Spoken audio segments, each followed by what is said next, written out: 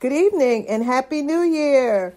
Just wanted to come on the Lifeline broadcast to let you all know that December was my last broadcast on When Christians Speak Radio Network.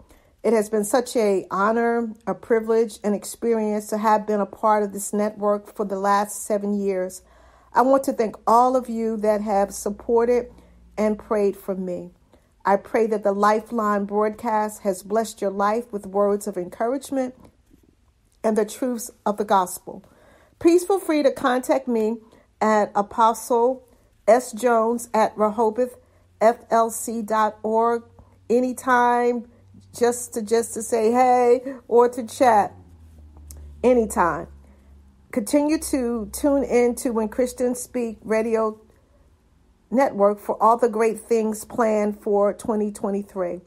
I pray that you and your family experience beyond what you can think and desire in 2023. Continual blessings. Love you guys. And again, Happy New Year.